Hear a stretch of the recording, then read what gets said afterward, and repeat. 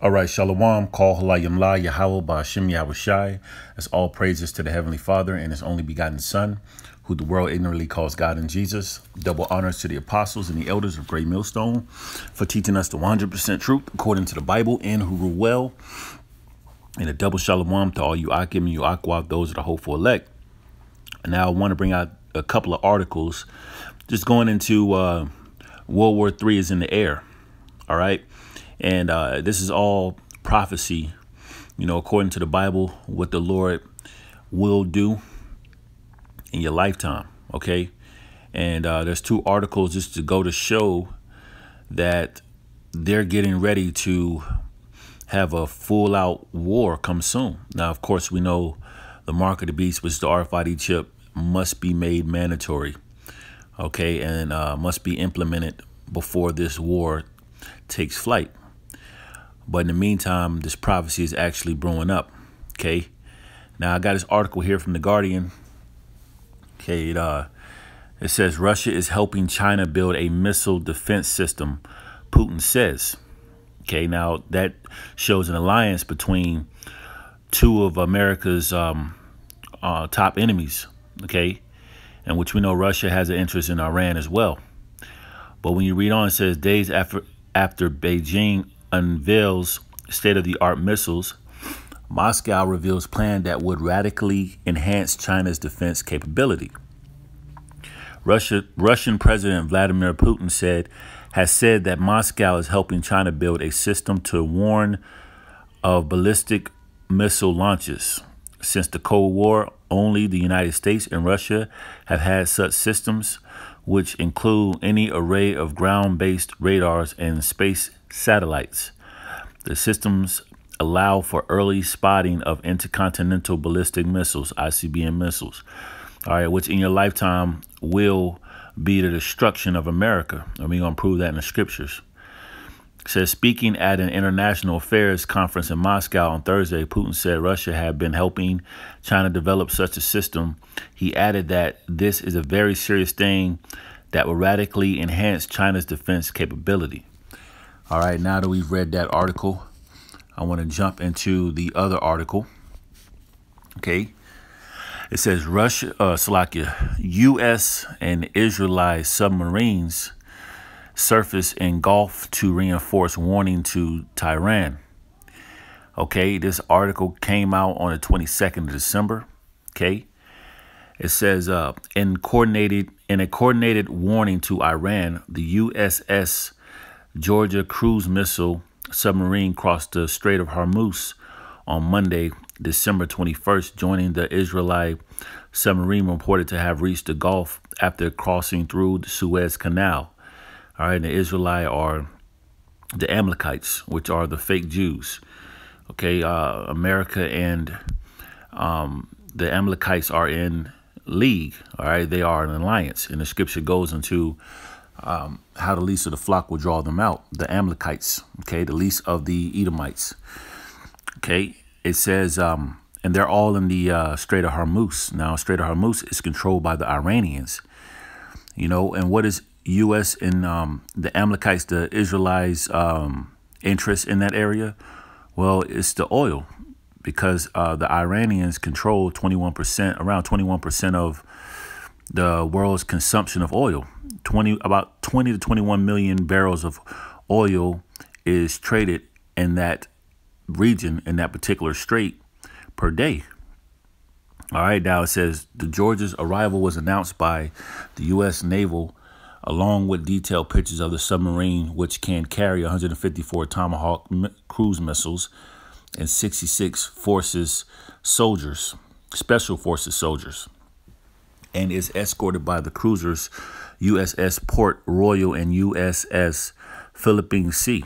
This force demonstrates the United States' commitment to regional partners and maritime security with a full spectrum of capabilities to remain ready to defend against any threat at any time, the Navy warned.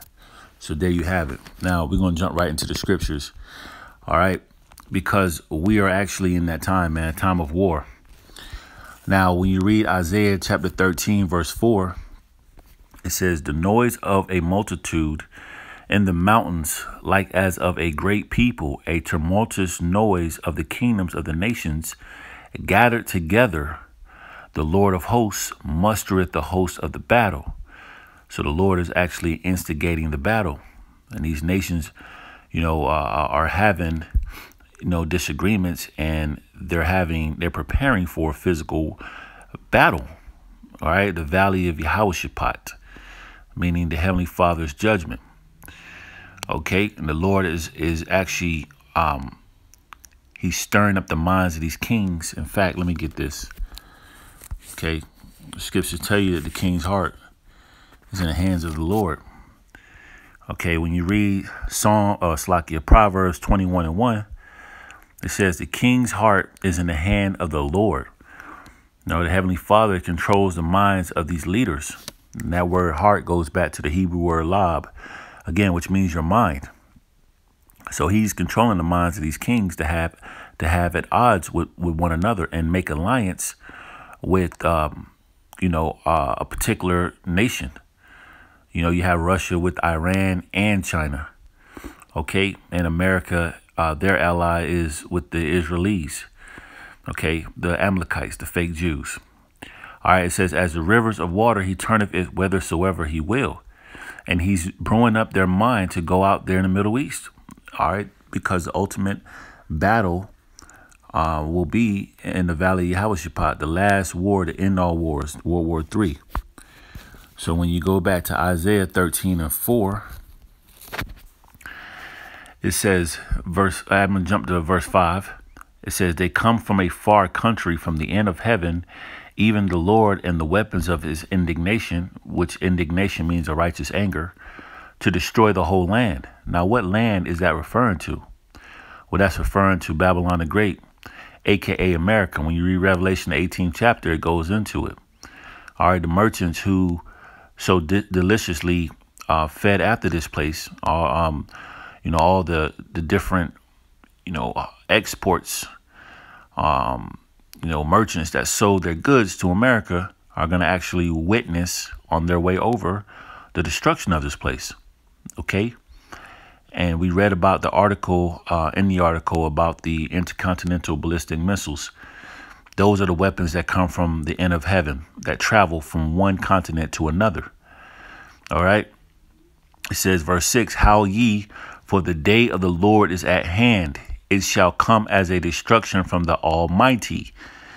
Okay. And we see that the Lord is actually brewing up World War III, which will be the end all be all wars. Okay. Revelation 11 and 14.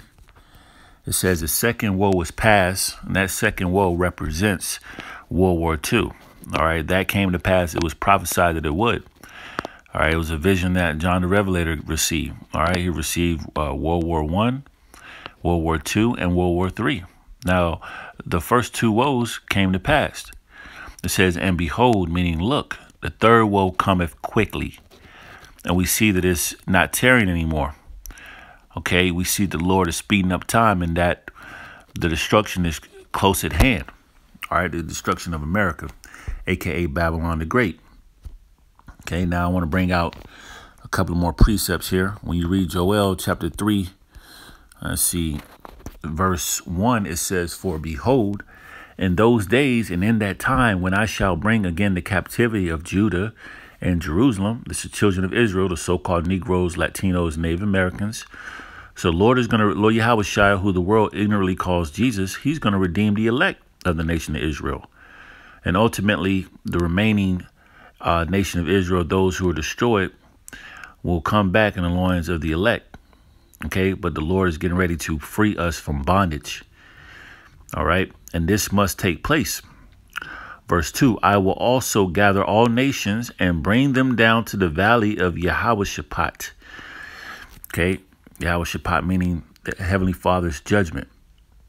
Okay, he's going to gather these nations up in the Middle East, and they're already gathering, as you can clearly see from the uh, article, submarines and uh, um, tanks and you know different military armory is being opened up for this particular battle.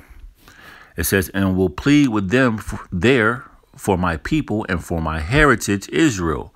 Plead meaning meaning judge. All right? And he's doing it specifically for his heritage. You know, Israel, you so-called Negroes, Latinos, Native Americans. It says, whom they have scattered among the nations and parted my land. And they still have the land parted. And, and it's a ongoing, it's been a perpetual war between uh, the Amalekites, okay, those fake Jews over there in the land, and the, um, I can't remember the name off the top of my head. All right, but those, um, I can't remember the name, but it's, it's another nation that's over there uh, battling with the Amalekites over that land. Okay. But nevertheless, it, it, it escapes my mind, so Salakia. All right, but that's pretty much what's taking place here, man. So all these things we're seeing here is the Lord fighting for us ultimately, and the elect knows that. All right, Lord willing, we're part of that number.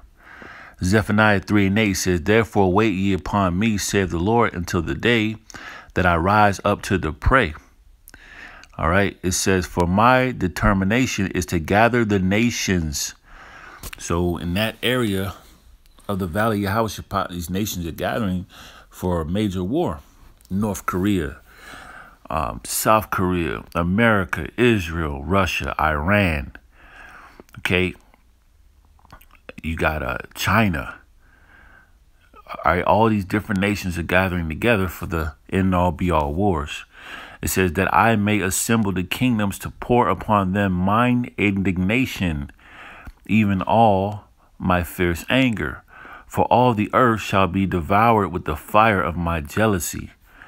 So this is the Lord doing this specifically in, in preparation for destroying these nations who all had counsel against the nation of Israel. Psalm 83rd chapter. Okay, they all are enemies to the nation of Israel, and the Lord is going to destroy them, ultimately destroy the land of America. All right, in fact, let me prove that. Going back to Isaiah, we're going to close out on this. Isaiah 13 and I believe 9. It says, Behold, the day of the Lord cometh cruel, both with wrath and fierce anger, to lay the land desolate. Now, when you go into the word desolate, it means uninhabited. All right, this land will never be inhabited anymore. All right, it's going to be completely destroyed. And again, the Lord Yahweh is going to beam up the elect right before those 200 million ICBM missiles hit. All right, and the only thing that's going to dwell here from the remains are the uh, desert creatures that can withstand radiation from the ICBM missile, uh, the nuclear destruction. It says, and he shall destroy, he shall destroy the sinners thereof out of it. So this place is going to be completely destroyed. And wickedness is going to be purged off the face of the earth, man. Okay? So we're looking forward to the gathering of these nations in the valley of Yahweh Shaphat in the Middle East. Continue to gather. We pray that the Lord continues to speed up the uh, speed up time for the elect's sake. And this place is destroyed soon, you know, very soon. All praises to Yahweh by Hashem Yahweh Shai. Double honors to the apostles and the elders of Great Millstone. Shalom.